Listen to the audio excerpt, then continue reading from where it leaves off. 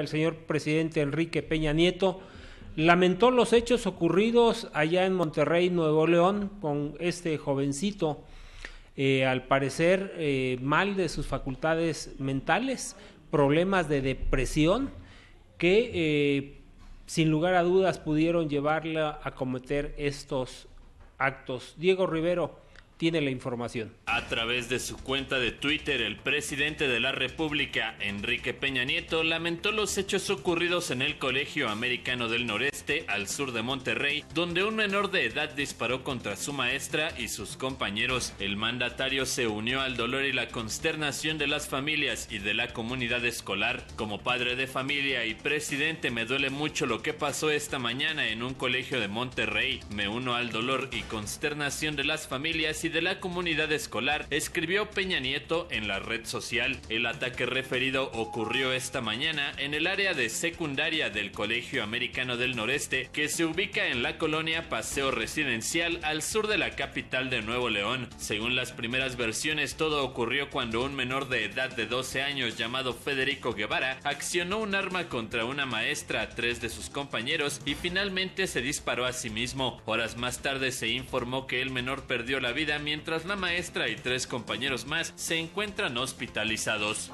Para el punto crítico, Diego Rivero. Bueno, y el tema que ha permeado en todos lados, inclusive en el Senado de la República, es el